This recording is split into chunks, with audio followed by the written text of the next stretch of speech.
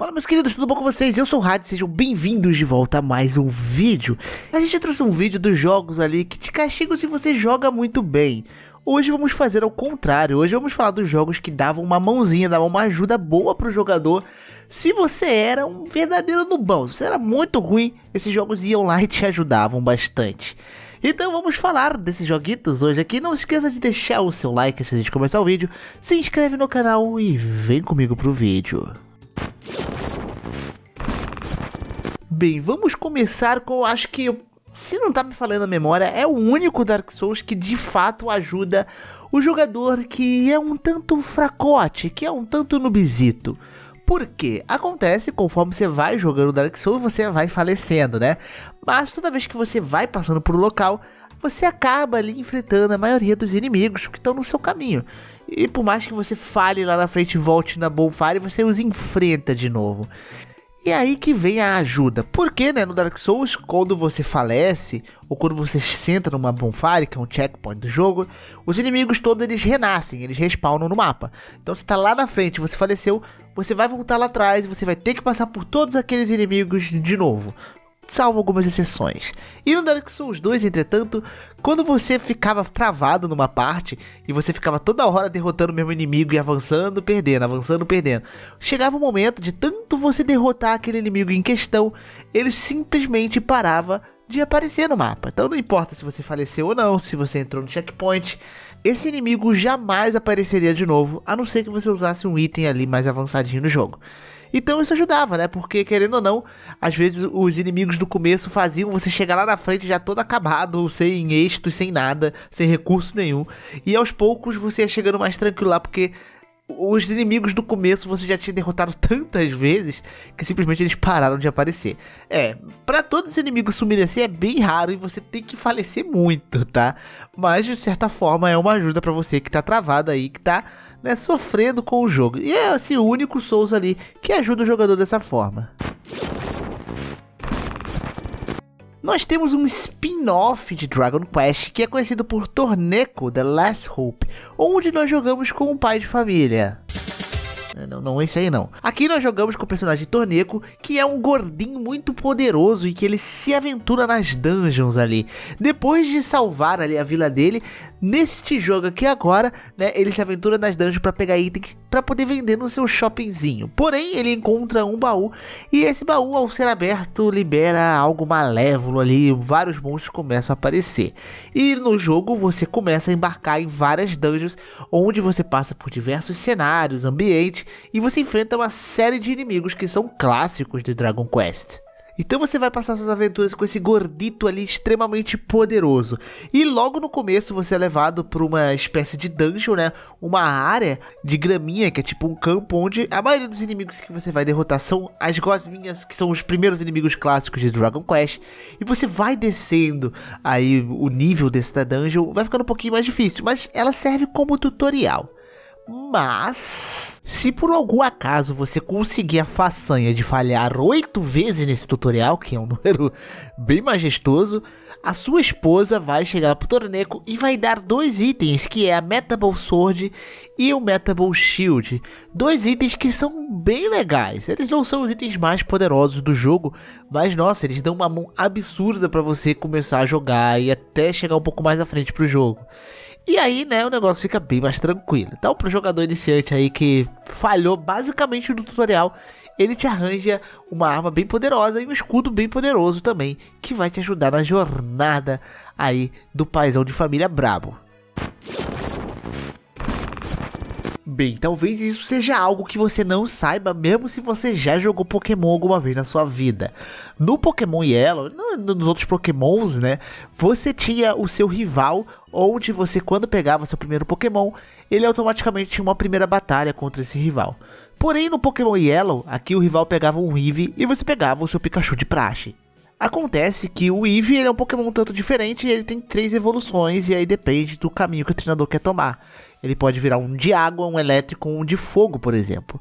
E olha que interessante, eu não sabia disso, porque todas as vezes que eu enfrentava o meu rival, eu ganhava dele.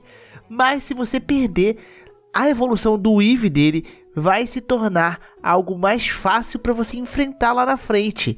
É, isso porque o Pikachu, querendo ou não, você vai tornar ele seu Pokémon mais forte de todos. E o Eevee vai ser o Pokémon mais forte de todos do seu rival. Mas se você perder a primeira batalha e a segunda batalha contra ele, contra o seu rival, esse Eevee vai se evoluir para um Vaporeon, que é um Pokémon do tipo água que é fraco contra o seu Pikachu. Ou seja, o jogo vai ver que você perdeu duas vezes pro seu rival e lá na frente meio que vai te ajudar nisso, fazendo o Eevee ter a evolução mais fraca contra o seu Pokémon mais forte. E aí é uma maravilha, né? Porque basicamente você vai dar um Thunder Shock e o Eevee vai de base, né? O Vaporeon, no caso, vai de base. E as coisas ficam muito mais fáceis.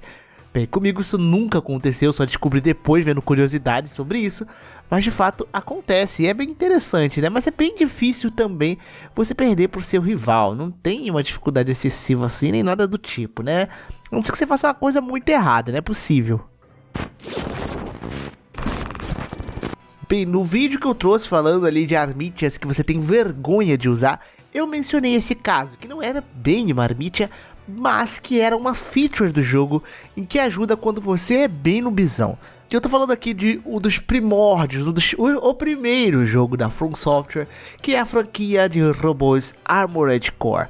Essa franquia que é bem complexa, bem complicada, e qualquer coisa que você faça errada, de fato, você vai se sentir punido por causa disso. E é bem complicado. A estrutura de missão do jogo é basicamente o um menu onde você seleciona a missão que você começa e toda missão tem recompensas. Essas recompensas te dão dinheiro onde você compra mais peças para o seu robô e eventualmente você vai evoluindo o seu personagem. Mas aí que tá, porque aqui literalmente tudo, exatamente tudo é cobrado do jogador. Você gastou muita bala? Você paga por essas balas que você gastou. Seu arma de core, seu robôzão lá tomou muito dano? Você vai pagar por aquilo que você causou de dano. Tem missões, por exemplo, que tem coisas de civis ali, por exemplo, se você fizer alguma coisa errada, isso vai ser descontado do seu salariozito. Acontece que em alguns momentos a missão foi bem sucedida e no final você está devendo 5 mil, por exemplo. Pois é, é o único jogo que você ganha uma missão e você perde dinheiro. É incrível, né? E aí, né, no momento que você perde tanto no jogo que você acumula ali uma dívida negativa, você desbloqueia o modo do jogo que é conhecido como Human Plus. É como se o personagem tivesse feito uma modificação e que ele fica totalmente mais poderoso. E cara, isso deixa o jogo extremamente mais fácil. É algo que muitos jogadores começam o jogo, né, perdem os créditos ali, perdem muitos créditos até ativar esse modo para poder conseguir jogar de uma facilidade normal. O jogo, por exemplo, possui o booster, a energia, que muitas coisas para você fazer gasta essa barra de energia, você tem que esperar ela encher um pouquinho. Então, se seu arma de core lá, seu robôzão vai voar, gasta energia. Se você vai dar um ataque ali físico com a lâmina, gasta energia. Isso tudo ali é reduzido pela metade, então você tem um dobro de energia para fazer as coisas. Você fica tipo o dobro mais poderoso, porque isso é uma das mecânicas mais importantes do jogo. Ajuda no radar que você tem no jogo, melhora também ali uh, a capacidade do seu robô de aguentar o peso. Isso porque o jogo é focado em você estar tá sempre trocando peças, mas dependendo de algumas peças que você tenha, você fica sobrepeso. Você precisa fazer um upgrade numa peça específica para isso, para poder, no núcleo, né, para você poder conseguir carregar mais peso. E isso daí é removido. Então, tipo, o jogo fica muito tranquilo, tá, pro jogador. É quase aqueles jogos que quando você perde muito, ele fala, você quer mudar pro modo do Easy? É isso. Só que isso aqui tem um enredo por trás, que é um modo Human Plus, que modifica ali. Inclusive, existem inimigos que tem esse modo também, que são inimigos mais difíceis. E, enfim, é interessante, né? Mas é isso. Ele ajuda aí. Se você perdeu muito, ele vai te ajudar.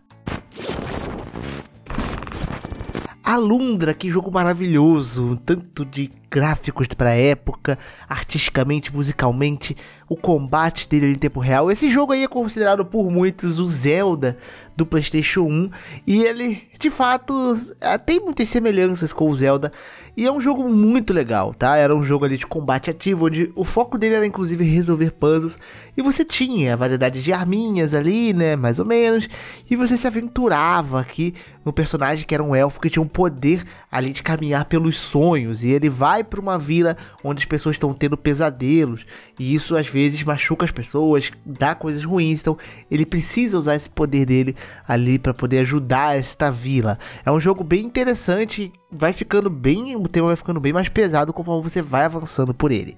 Mas enfim, né? E o jogo tem uma boa dificuldade, sim.